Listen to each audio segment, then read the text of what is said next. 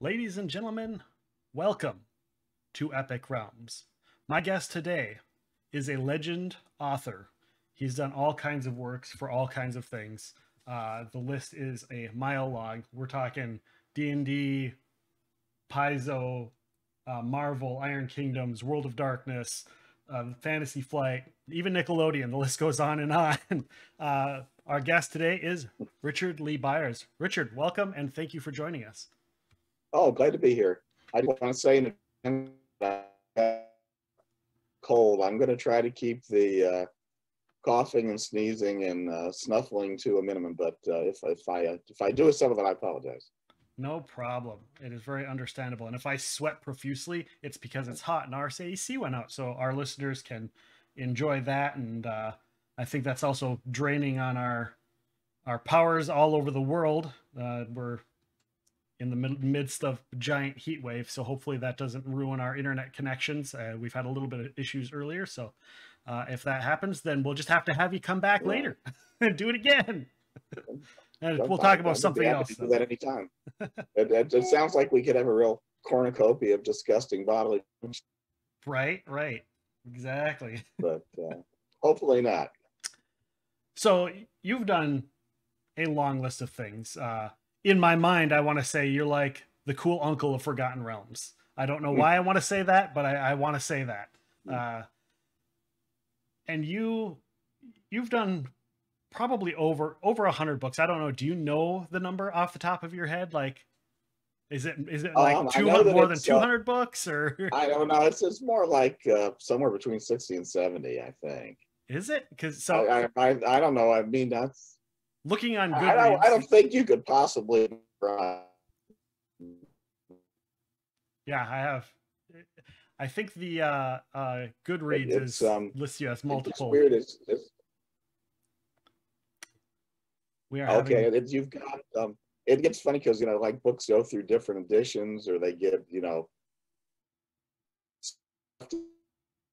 something you wrote as an individual novel gets plugged into a three volume omnibus and they people start counting that as a different book. And uh, but but i think 60 plus is probably more accurate. Okay. Good to know. Good to know. All i have really to go off of is like when i see stuff on like look you up amazon goodreads they gave you like six plus pages. Of course that includes anthologies. I'm probably including anthologies not just novels. But that yeah. being said yeah amazon also uh, yeah, Amazon also plugs in stuff that um, is not by you, but right. they think that maybe they can sell to people that would yeah. uh, would buy your stuff. So that inflates it. When did you start? Like, around what year was like your first published novel? Uh, my first published novel, I think, was uh, 88 or right, right around 1988, maybe 1989. And before that, did you have a lot of uh, lot of interest in writing? Growing up, did you think, "Hey, I might, I might want to be a writer"? Or did you write a lot? Well, I was always, um, I was always interested in being a writer, and I did write, but um, people told me that, um, you know, I heard a lot of people say, "Well, you know, writers, you know, usually can't make a living." So you should have like a real job and then you could write on the side. So um so I wound up going into uh, psychology, mental health field and thinking, okay, I'll do that and then it'll be helpful to creating characters and motivating characters and stuff. And um it, it'll be interesting in its own right and it will also yeah, and then I'll write on the side. But what I found was that I went to work in a mental health facility that it was sufficiently draining that um, I didn't actually write anything. And so that went on for some time. And then my mom passed away and she left me some money, and it was enough money to um, live on as long as I, um, you know, lived cheap very modestly. And uh, I was getting burned out on the mental health field anyway. And I kind of thought, well, if I'm going to write, it's really now or never. And uh, I should either do it now or I should accept that I'm not really going to do it. It's just a pipe dream. So I quit my job and I did it. And uh, it didn't wasn't too long before I um, placed a short story or two in a in a small press. Didn't pay any money, but it was uh, at least kind of validation. And uh, after a uh, year, after like a year or so, I managed to place my first novel, and um, despite it being you know pretty terrible, really, but um, uh, it and um, you know things went on from there. Did you find that your your work in the mental health field did that help uh, to write stories and to develop characters? You know, it kind of kind of I thought it would. And when when I went in, it was um I mean it's it's kind of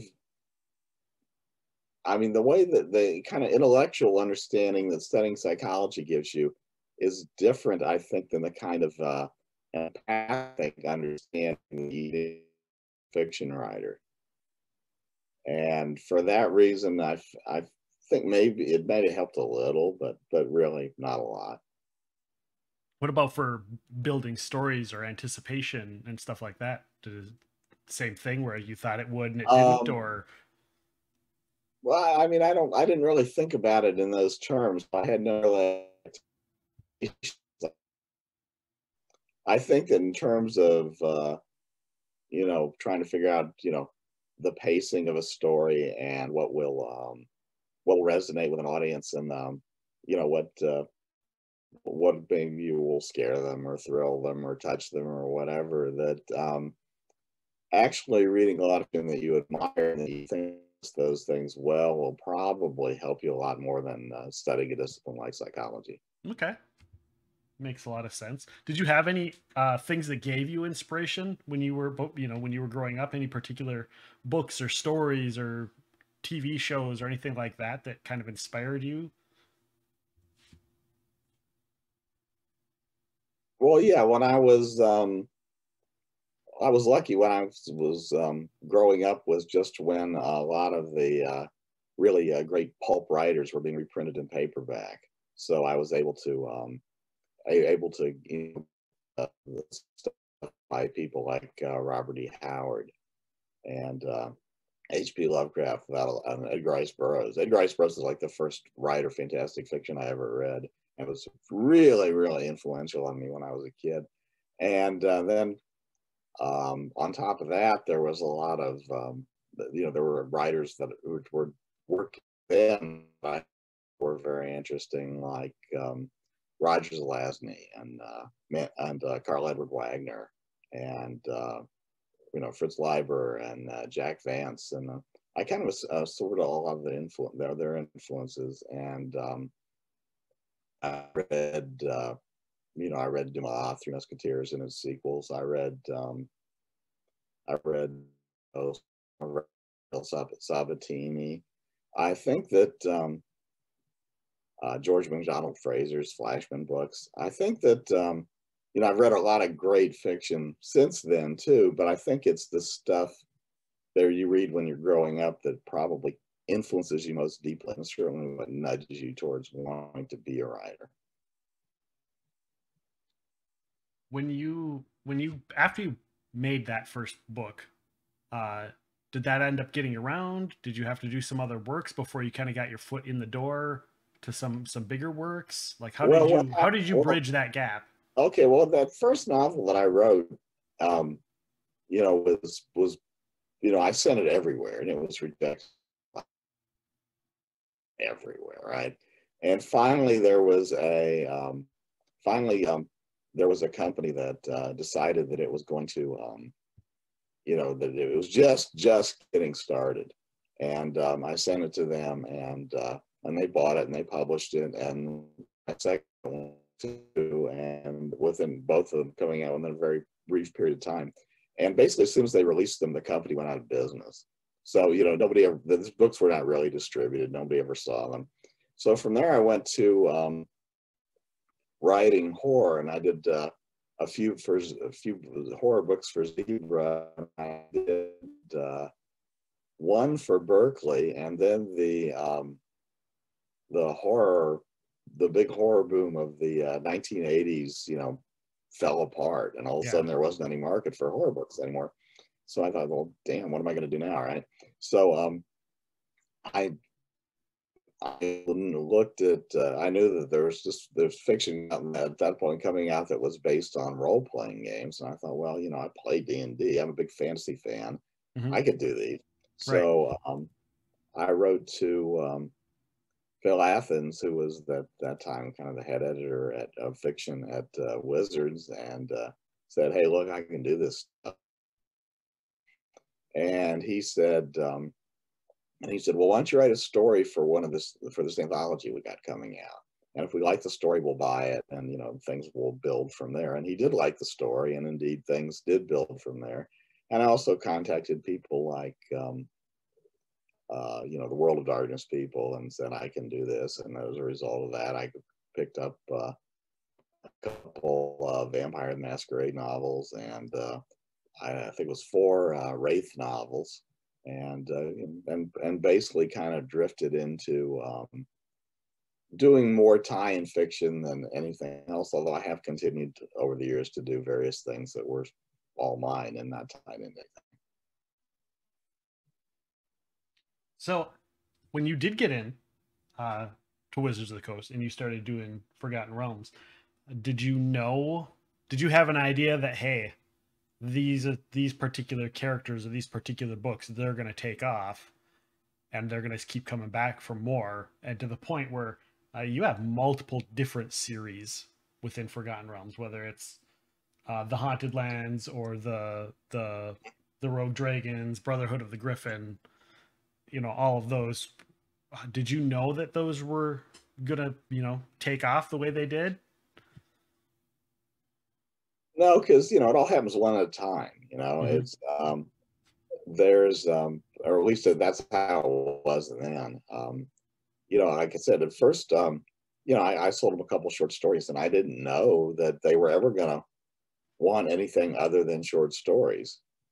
And uh, if if they even continued to want that, and then they did the uh, Sembia series, and Yeah. Sembia series was specifically designed to we're going to get some new novelists, right? Okay.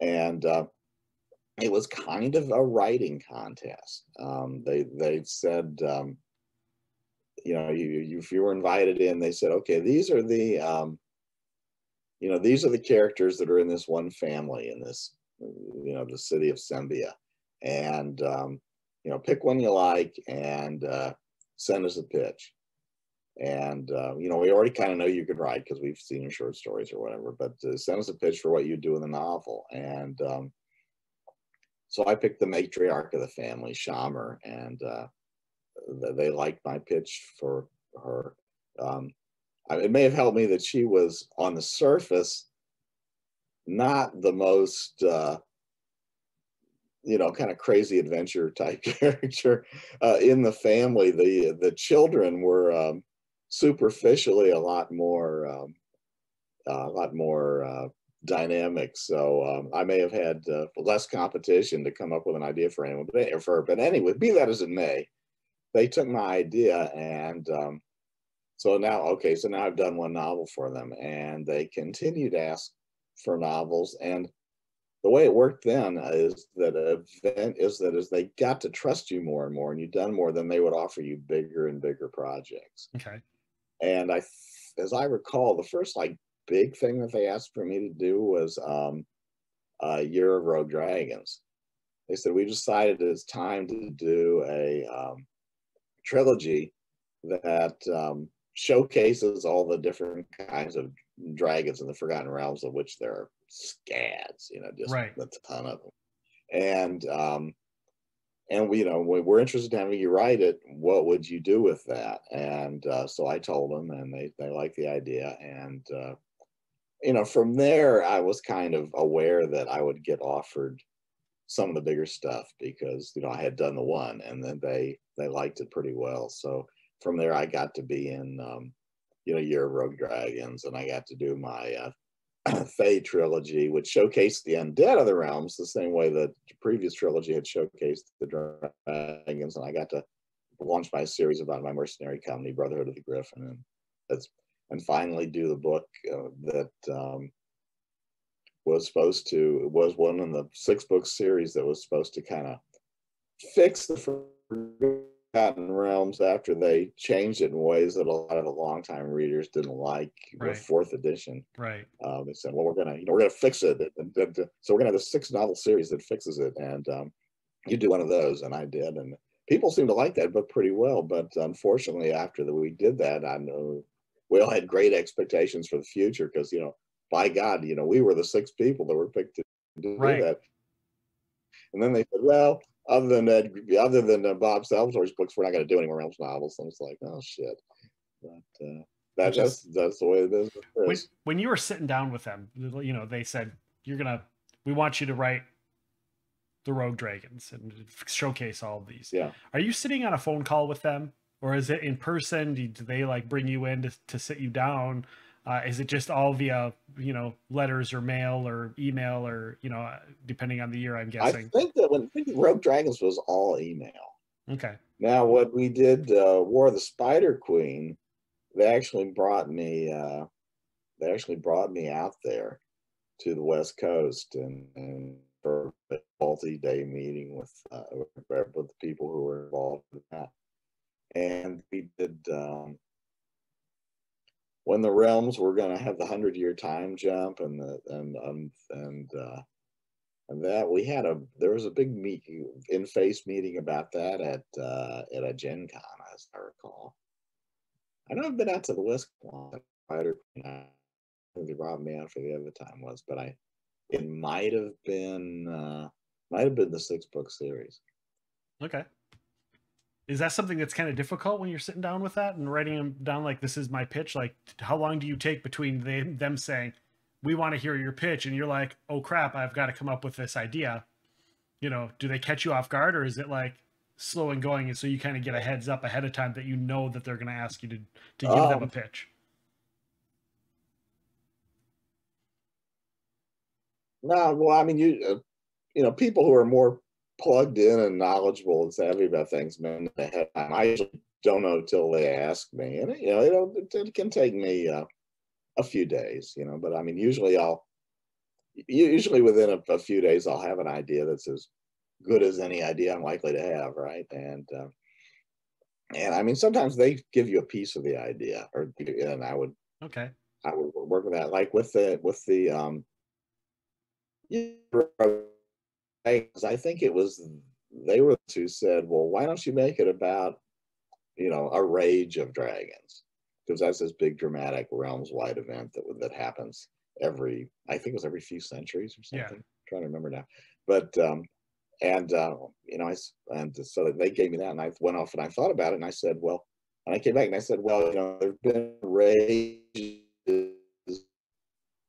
Periodically through the history of the realms and the realms have always you know survived it. And then you know a few centuries passed and there's another rage. So i thought why don't we do a story about the biggest worst rage there ever was? The rage that threatened to destroy everything. And along the way we will um, explain why these things happen. And we'll um, we'll fix it so they don't happen anymore. And uh, they were okay with that because the next rage after the rage I was going to write about wasn't going to happen for wasn't scheduled to happen for centuries anyway. So they figured, well, we'll never get up to that. I stated and just like, oh damn, if only we could have a rage, but you know, it got fixed way back when. So um so they that was the core concept. And then I thought about, well, what characters can um, you know, what characters would be interesting? And I came up with um I came up with my character, my dragon hunting characters, including the uh, half golem guy who had been horrendously mutilated by dragon and thought he hated all dragons. And then, of course, he falls in love with a good dragon who can take human form Right. and has to deal with that. And then I had the um, Well, and there are so many people that that use that concept as Yeah. character ideas for their own Mm. characters because it's Yeah. such an intriguing, unique. You know, it really hadn't been done much before. Yeah, and then I had the uh, the winged elf character who, uh, we- you know, I always I always see elves as being um, kind of snooty and uh, you know, excessively proud of being an elf. So I decided I would do a well, an elf character who was actually kind of ashamed of being an elf, because that would you know that would be interesting and different. And I was heavily into the sport of fencing at that time, so I thought, well, I'll make you the fencing master. That that'll that'll make sense. And you know that that's it. It all just kind of evolves from there. That shows you how you kind of plug in things one at a time until you've got a story. Did you go to them for any books? or did they were all the ideas brought to you like hey can you we want you to work on this or were there any that you were like hey i really want to do this is there a time or a space for me to fit this in well i mean with the big stuff they tend to um, you know it, it tended to be that they wanted something i mean it's like um like your rogue dragons let's showcase all the dragons and with the um the Thay trilogy, it was, well, let's take Thay from what it is in third edition to what we want it to be in fourth edition. Let's write a trilogy that shows how that happened. And um, know, the the the the things that we did to let's undo the things that we did to the realm that it turns out nobody likes. Right. Um, would um, other stuff though you would uh, you know you would go to him with with kind of your idea like with um, with Brotherhood of the Griffin I did um, I'd created this mercenary company that was going to be part of the uh, Thay trilogy and uh, I said well I would like to continue with these guys because um, you know I don't really think we have books about mercenary companies and that could be kind of interesting. And people seem to like it. Right. Did we lose you? And that was a you know fairly big project. I've done there's several you know I did a, a, a few books about them. Yeah, the, I think I think that's there's a lot of stuff that I think and also certainly obviously they did well because obviously they had five books. You know they kept asking for more, so obviously it was popular. Are we? Are you still there? Yeah, it, I mean, it was and in in con and yeah, our, uh, your your voice is kind of in doing that breaking up thing, but it, right. yeah, I, I, mean, I felt like it was popular. I've certainly heard from people that uh, liked it. Uh, it was, I don't know, it was like I, they were coming out at a time when I guess the whole concept of uh, Realms novels was being reevaluated. That the end was coming, and I didn't know it, but um, yeah, because they, they didn't have big print runs. And uh, you, I hear from a lot of people want to, um, you know, want to read them and they're having trouble finding them at less than, you know, crazy high prices from used booksellers. Right. And uh, as far as I know, they're still all available on Audible. So if people like, you know, people are okay with audiobooks, they can experience the story that way and not have to you know i am a huge i talk about audible and audiobooks all the time that's pretty much the main way that i consume books these days uh, yeah. i can't I, I don't have a the attention span to sit down or the time to sit down and read anymore so everything i consume now is audiobook which is right. great that everybody's you know everybody's doing that and yeah, yeah you have so many that are on audiobook that it's it's it's great yeah, I'm delighted that people can still get them somehow. You know, I mean, so the stories are still available in some format. Right. Well, and then you get like sometimes so you get some really good narrators that do such an amazing job bringing those characters to life via their voices. Yeah, I've uh, I've I've heard I've been I'm fortunate I've heard from a number of my you know people that have experienced the books and I would say, oh, this the, they they really gave you a good guide to uh, read it. You know. Awesome. Do you listen to audiobooks at all yourself? Listen to any of them. No, I, I I read on I read uh, ebooks because okay. for reading for me is a lot faster than, than listening. Right. I no, I, I and a lot of people say that that they it's easier and quicker for them to read, you know, to read it than it is to listen to somebody else read it. Yeah, I guess a lot of people listen while driving in their cars, but I, I like to listen to the music when I drive in my car. So yeah, that's I listen while I'm driving as well. And I'll when I get when I get to the point where I can't concentrate, that's when I throw the music on. Right. uh so Forgotten Realms is obviously like one of the biggest tie-in fictions because you're writing for you know D and D, but Right. you've had a your list. I've I've got a small list here. Uh, World of Darkness, Warhammer, a little bit here in the Magic the Gathering. We mentioned off screen a little bit the that uh, Arkham Horror, uh, Iron Kingdoms. I just you have so much stuff. How do you how do you keep it all straight when you're when you're doing tie-in fiction and go, okay, this is the information to go, okay, well, I got to do the Iron Kingdoms now and go, okay, wait, this information was from Warhammer. This is not Iron Kingdoms or or whatnot. How do you separate and and keep that stuff categorized in your mind? Well, it, it probably helps a lot if you've got a really shitty memory. You know, it's like I, I, I remember relatively little of what the Warhammer world is like at this point, so it's not intrude when I'm writing something else. But um, I mean, I, I don't know. I've, I've just never really had an, an issue with that. I've been able to focus on whatever I was doing at, at that time, and uh, you know, the, that world. And of course, you know, some of the stuff like um, Arkham Horror. Well, I you know I read Lovecraft when I was a kid. I can still read um, Cthulhu mythos stuff, and it's you know it's. It's not. I've I've kind I've kind of assimilated all that, and it's really you know Forgotten Realms isn't going to sneak in there anyway, and I've uh, just you know I I could focus on that and and do that. Um, the uh, I hope I hope I'll get to do more Arkham Horror. I enjoyed the two I did, and they're being uh, the they're the novellas that uh, I did and some of the other people and other people did are being re-released in uh, omnibus edition. So hopefully that'll prove popular and people will go to Aconyte Books and say, "Hey, we love the stories that these guys wrote. You should have them do some uh, Arkham Horror novels now." But uh, because they are doing those, but I, I haven't. My phone hasn't rung on that yet. Well, being somebody who's loved, you know, Lovecraftian stuff for so long, like it seems like you'd be a shoe in for something like that. Yeah. I hope that um, you know. I, I hope event uh, gets up. It, it's it's interesting though. My experience is that um, um, companies that have multiple IPs that they do, they like to a degree. They kind of like to pigeonhole you. Yeah. Um, it's like um, once I was in Forgotten Realms, nobody was ever going to ask me to do it in my next book. Which is sad. Uh,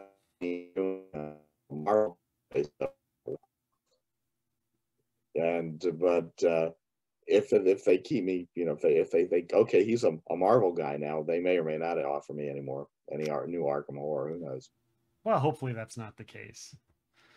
Especially, are you going to be doing more? You know, it's it's not Like Arkham. I'm I'm very happy. To, I'm sorry, that broke up. No, I was going to say I'm glad that. um Sorry, the um with that you'd think that that wouldn't be an issue because you're are you still doing stuff for the Moebius, the Tales of uh oh my brain is farting Moebius and Basil and Moebius. Yeah, those ongoing. Uh, there's there's another book in the works, and I contributed my pieces of it. And I, you know, having tournament and gotten paid, I haven't really kept track of it after that. But um, so I don't know when it's coming out or if, if everybody else has already done their stories. But um, but I, that is that's ongoing, and I know there will be. Um, I know that Ryan Schifrin, who created the series and, and the characters, you know, fully intends for it to continue. I hope to contribute more to future volumes. And uh, but all I know for sure is that this one is that the next one is coming out, and I, I did my bits. I did um, with, with the last one. Um, I would turn in my story to last because of other stuff, and I know that other writers were saying, "When the hell is he going to get done?" So, so this book can come out, but with this new one, I I got my stuff in first, so uh, nobody can uh, bitch about me this time. Right. Well, I mean, you'd think with that going on, like you having that, that you know, Arkham Horror would say like, we can't, they can't necessarily pigeonhole you because you're still doing that type of genre of stuff as well. Yeah. Well, they, they pigeonhole you in relation to what you do for them. Yeah, I suppose. I suppose that Yeah. makes sense. Do you have any any like bucket list like really want to do tie-in fiction for anyone, any games or or stories or you know TV shows or anything like that that you you like bucket list you'd love to be invited to do a do a tie-in whether it's a short story or a novel?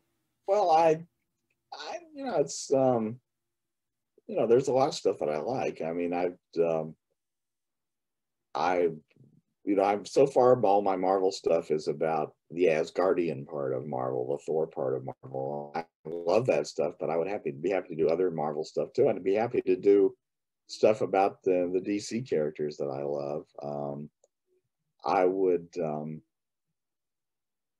I, I know that there is new fiction being done about uh, you know Edgar Rice Burroughs universes and characters, and I would be would like a crack at that. I know that there is uh, there are going to be new Conan novels, and I'd like a crack at uh, those. And um, a couple of years ago, a friend of mine was um, a friend of mine was uh, kind of pitching to be the editor of a new line of Conan novels, and uh, I she asked me for a pitch for a story, and I pitched something to her that she really liked, and I was hoping that um, she would get the gig, and therefore I would get the gig. Right. But uh, the the new line of Conan novels is not it does not involve her, and uh, it involves, um, you know, it's like my phone hasn't rung, and uh, and I know that's that's that's a, a thing that you know so many fantasy writers I'm sure are uh, would like to do a Conan book. That uh, my chances probably aren't good. Well, but just... I would certainly like to do Conan. I'd like to do, um, I say, Burroughs, uh, especially Barsoom. Uh, a DC characters, you know, parts of the Marvel universe I haven't gotten to yet. But uh, um, I should probably say Star Wars just because there's a lot of money in Star Wars. but, um, uh, I mean, I'd, I'd, I'd be thrilled to do one, but when they sit you down, what you know, what's me the most interested, just just what would be fun, fun, fun for me to do. Like the stuff I already mentioned. Right. When they sit you down and there you you go to do a tie-in fiction, do they give you a bunch of material? Like how do you get the information for what works in that universe and how that universe is? Do they send you like a pamphlet or do you just have to go on your own and do some research as to how it works and then say this is my idea? Do you have like a handler that you kind of work directly with? Well, you know, it varies. Um, when I did um, when I did um, started Forgotten Realms, you know, it was kind of like, uh, you know, you, you figure it out. But after I'd done a couple short stories, then they started sending me all this material. You know, like, well, you should have this reference material because we're going to continue to do these. And um, and sometimes, um, you know, it, it varies from, it can go from either, you know, we expect that you're already a fan of the material or you wouldn't be pitching in the first place to uh, well here's some stuff figured out from this to you know you get really copious information. Uh, like um, you know arkham horror you know I, I remember getting a lot of stuff. I mean forgotten realms is still the champ as i'm sitting here talking to you on the bookshelf above the computer there's like volume after volume of after volume of d&d and uh, right. and, and d&d forgotten realms stuff they sent me and uh, other times there's been very little. I mean, at one time I was, um, at one time I was trying to, you know, to get a particular uh, gig, and, and the information they sent me was was like so fragmentary that it just, you know, they respond and say, well, you know, this this this isn't right, you know, and it's like you don't understand the world, and it's like, you know, you're damn right. explain it to me, and it's like, and then it's like, well, you know, all the people who are uh, you know, all the people who are doing this are people who are, you know, already extensively involved with the game. And it's like, well, I'm not surprised because they're the ones who actually understand all the uh, things that you have to write down. Right. I'd be remiss if I didn't mention the uh, Pathfinder Call to Darkness because I'm a huge fan of that book as well. Oh, well, thank you. That uh, it was a great, it was a very unique story and way of telling the story.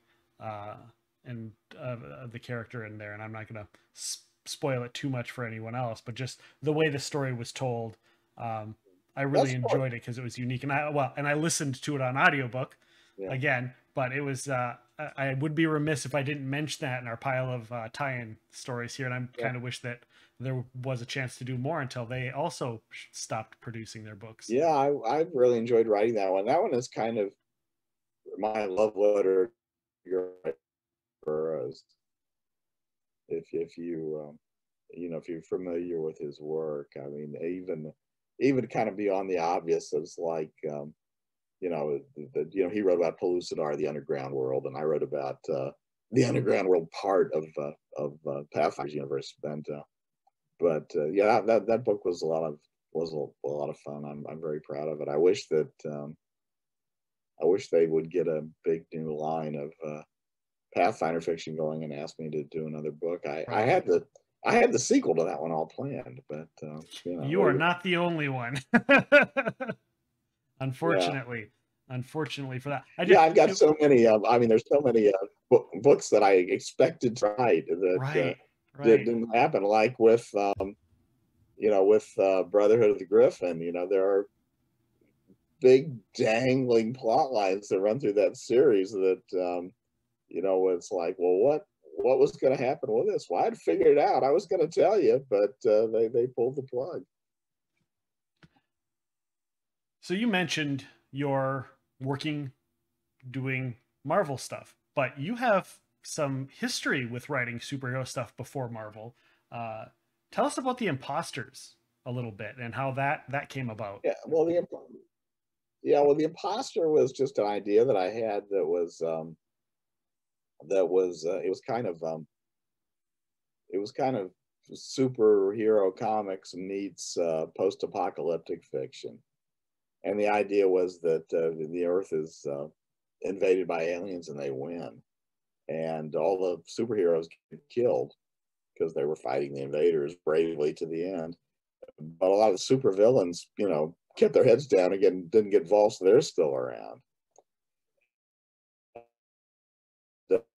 Who's um, just trying to, um, you know, who's just a normal guy trying to survive, and he um, he stumbles on some of the gear of characters who uh, superhero characters who's uh, who are you know kind of like Iron Man. You know, he was all in their stuff. You know. Yeah. And uh, and and he uh, starts using that stuff and starts uh, saying, "Oh, look, the character is, you know, I'm, I'm this guy. He's still alive." You know, to kind of give people hope, and it uh, goes on from there. I, I, did a couple books of it, and again, that's another thing that uh, there's more planned out, but the uh, the sales of the first two weren't really robust. And since I'm in this trying to make a living, I kind of, you know, when something's not selling, I, you know, uh, I keep uh, I keep moving and uh, you know go on to the next thing. But you know, I might get back to it sometime. I would like to. I mean, certainly, there's one more book that is definitely planned out and then the series was supposed to continue beyond that. But the third book will, you know, in the way of trilogies, kind of wrap up a lot of stuff that's pending from the first two while uh, opening the door on the greater world. You know. But so you know, maybe someday. When you when you're writing those, do you do you in your mind when you put put a character together, like the guy that's got kind of the Iron Man type suit, in your mind, are you like picturing an established comic book character, or are you just like coming up with something com- completely unique or do you like you take bits and pieces of concepts and put them together? How do you how do you run across that when making superhero type characters? Well the well if you read the um if you read the imposter and the identities that he's got i mean you could kind of you could see the roots you know the mm-hmm. first identity that he assumes is kind of uh you know is, is derives from the shadow the shadow I, knows. Of, yeah, I put my own spin on it, but it's kind of the shadow. And the second character is kind of the the course is probably the correspondence is probably not as close, but the the second character is kind of like Thor, and um, but uh, I, I, decided it would be interesting if um, decided it would be interesting if rather than you know connecting to the um, the world of, of you know pantheon of, of Norse gods or any pantheon that we currently know, he would be he would connect to the uh, pantheon of the uh, Neanderthals. so so that was what I did with that, and uh, but yeah, I mean with it's really hard to do at this point to do kind of comic superheroes that where you don't you know where you would say well that's totally original right. You know i don't how um you know I, you know i don't see how i don't see how that has its antecedents in any comic book character that's ever been done before. Right. Well and I mean, I especially when you've got multiple kinda true of versions of each character. Yeah. But I get, I mean, I guess that's kind of true in fiction in general. I mean, you can't, um, I mean, you you're not going to do a, um, you're not going to do a, a sword and sorcery story where you know people are going to say, well, this you know has this this protagonist has nothing in common with it with Conan or Elric or the Grey Mouser or Fafhrd or any you know right sword and sorcery characters ever been done before, or Frodo or Aragorn or you know whoever. yeah Uh, you just, like so, you just um, you know you've you've got your influences, and they're and that it's fine to have them. It's a strength to have them as long as you also have something of your own to bring to it. Right. From the imposters, you also did, and again, I'd be remiss if I didn't mention Mutants and Masterminds, uh, which is a, for those that don't know, is a role superhero role playing game. It's had multiple editions, and you worked on something for them as well. Yeah, yeah. I've done. Uh, I did a few pieces of uh, shorter fiction, and I've actually I've done a novel, the Mutants and Masterminds novel, that's not published yet. uh, you know, because um, the company, I, as I understand it, I, I guess I'm not telling tales out of school to, to say this, you know, had uh, some financial challenges due to the pandemic, Right. and uh, one of the things that happened was they uh, they slowed down on the uh, tie-in fiction part, publishing part of it, and uh, they're um, they're uh, sitting on a novel by by me and uh, a novel by Aaron Rosenberg, which is kind of a sequel to my novel, and um, and hopefully you know the, the, you'll see them eventually, but I don't know exactly when. Yeah. Well, and hopefully, you'd think that you know, with the pandemic and a lot of people being home reading, that that would be the perfect time to put out a book. But as we found out, that's not necessarily the case. Yeah, well, I mean, you've got to. I mean, there's all all kind of. Um, I mean, I'm not. I've never actually been a publisher, so I'm like the Right. not a very knowledgeable person to be talking about this. But even I know that there's all kind of uh, you know expenses and supply ch- uh, chain and distribution issues that come in into it when you're you know contemplating bringing out a book and Right. um, and it just uh, it was not practical for them to do it on the schedule that we thought we were we had originally. Does that does that uh, does that novel uh, does that tie does that connect to like Freedom City and and their custom world, or is it? yeah, it's all it's all characters that um, it's it's all their characters in their world. It's actually um, what what's the other city? Oh, Uh, you know, I can't think of it off the top of my head. We have somebody in our Twitch stream that I'm sure can answer that because they have every one of the books. well, no, and actually, it's actually I, I, take that back to there. So actually, the um, the major part of the novel is it's set in San Francisco. Emerald City. That's what he says. Emerald So, City is um, the other city.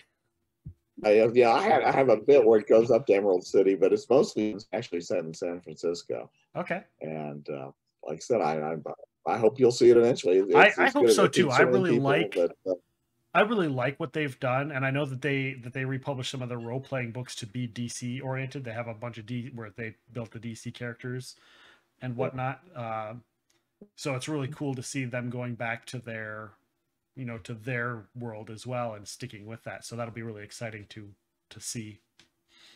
Yeah. Well, and, hopefully with doing Yeah, that, if they like, keep their DC connections, then you can get that DC lit book you're looking for. Who knows? yeah, I know it's like licensing really gets complicated with these with these kind of multi um, Right. you know the, these multimedia characters. It's like uh, you, you know you've got just because you've got the license to do a gaming module or a gaming source book with the DC characters doesn't mean at all Right. that they get to do novels. Now they might. I mean, but it all depends on what that particular deal consists of. All they need to do is name drop your name. That's I all. mean, I'd Like, definitely like to do. Um, I wish.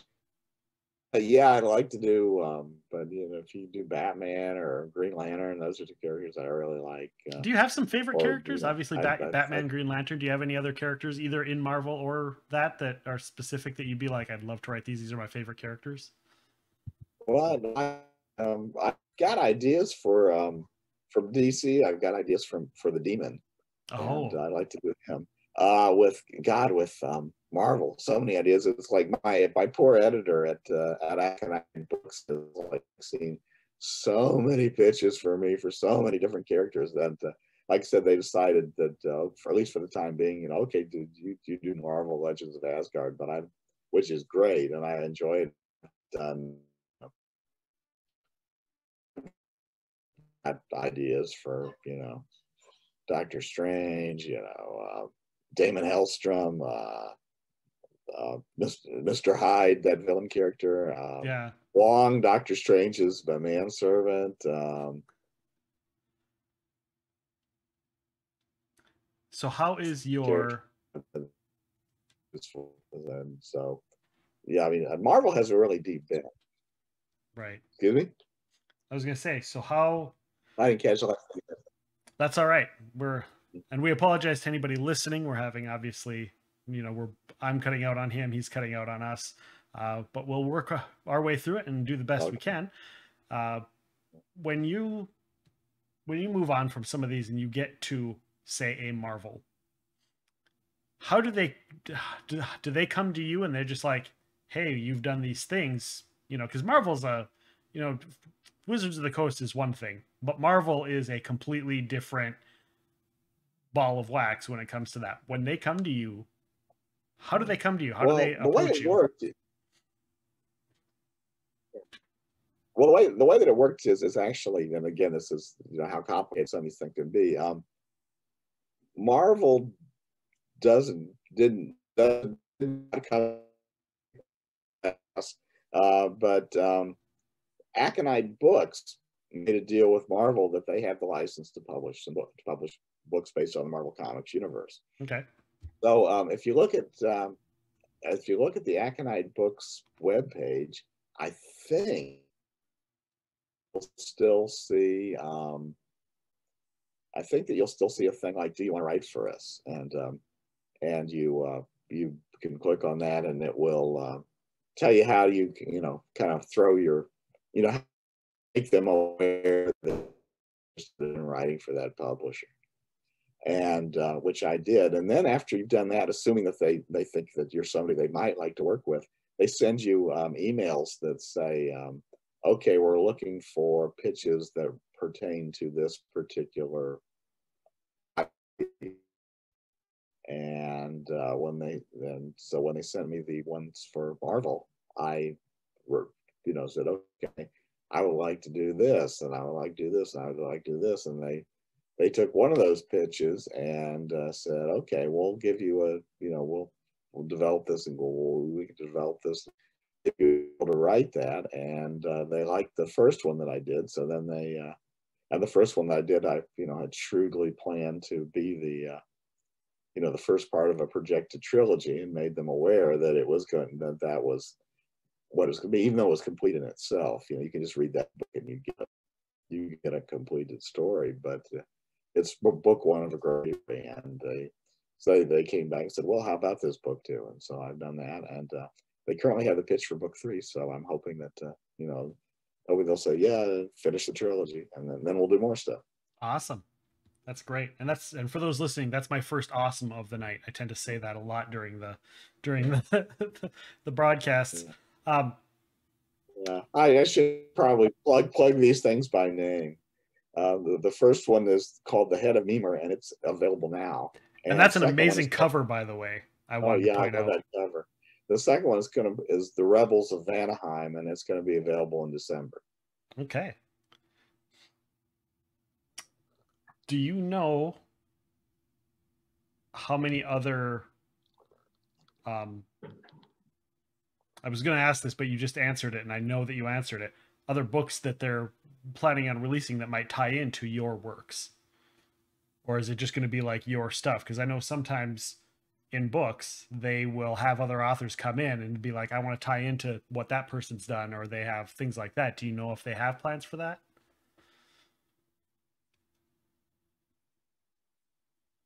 All I can tell you is that there are there are already other Marvel Legends of Asgard books that I did not write. Okay. And uh, whether they have any connection to the stuff that happens in my books, I sus- I suspect actually not. Okay. Other than just we're all writing about Asgard together. I mean, if if they wanted to do that, that'd be great. But I didn't. Um, I didn't. Sometimes you write something and you leave it like like a big hole for somebody else to come and plug into. Okay. And uh, I I didn't I didn't do that with the uh, with the Asgard books. Those are always things that I always find fascinating when you get those those little crossover tie-ins, even if it's just this little mention to something you know right. over here that happened. Uh, I always find those really fun, uh, especially chronological wise, to be like, oh, okay, yeah. this happens around the same time that this is happening, sort of things. But not you know obviously yeah. not everyone does them, and not not everybody enjoys that either.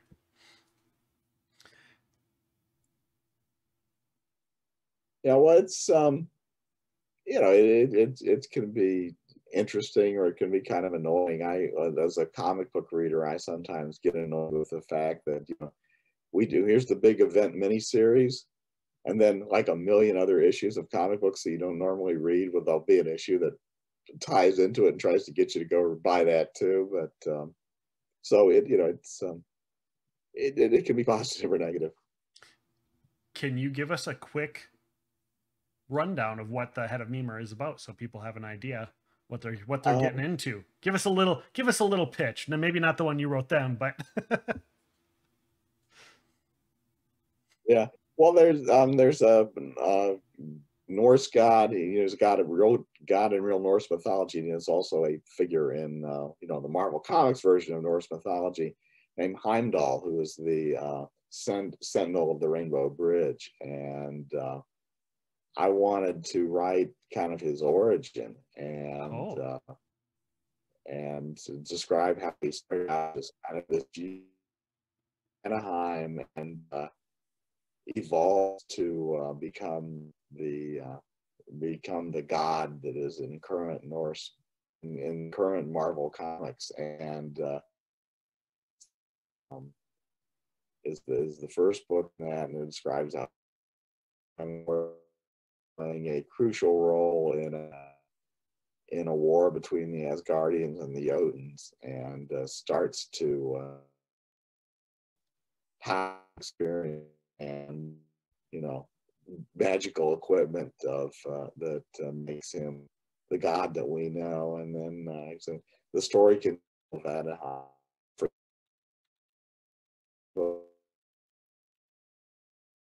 uh-oh Looks like we lost him. Well, and I'm now I'm like flip flopped up. Is he coming back?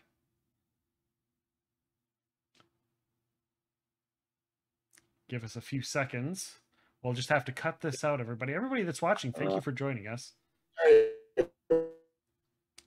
Are you back? I can kind of hear you. Here we are. I'm back. You're back. Yeah, I think so. But it all there for a second. That is all right. It showed me this. It showed me a Zoom thing, not the right Zoom thing. That's all right. It uh, luckily with the podcast, I can just clip that whole section out, um, and we'll be. Oh, we'll be good. good. That's the, that's the joys of live, though, for the people that live stream watching us. We're here.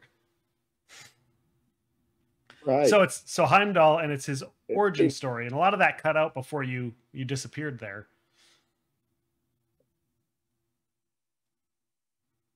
Okay, well, like I said, it, it, it's the start of Heimdall's journey towards becoming a god mm-hmm. and um, a true god. Of, of and it is about a uh, war between the uh, Asgardians and the Frost Giants, in which he plays a critical role. Okay, awesome. I can't. Oh, that's awesome. Number two. I can't wait for that to come out. Do you know if that'll be on audiobook? Um, okay, that one already is out as a, um, I'm doing a fist I'm pump here, like yes, they're moving toward. Yeah, I'm told that they're moving towards um, the, the, all the material being available as audiobooks as well, but I don't have a timetable for that. Okay. I know that um, they aren't available as audiobooks. My kids tells me she keeps looking and it's not there yet. So oh, she's like you. She loves audiobooks. Yeah, I love I love audiobooks.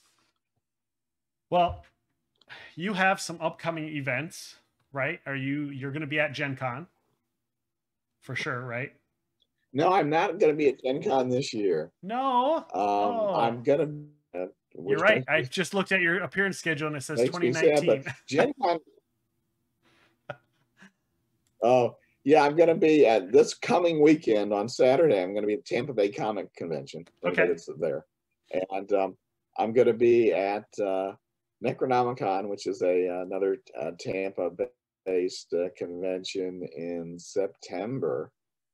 And sadly, that's about it for this year. Um, Gen Con, even though they're having a live Gen Con this year, they don't have any um,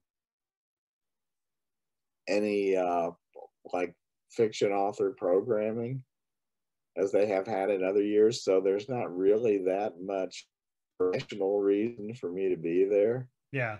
Um, hopefully next year they will have some, and I'll, I'll, get to participate in. it. I'd love to go back. I'd love to do more DragonCon too, but uh, again, it, you know, it didn't work out for this year. Right. Well, maybe next year.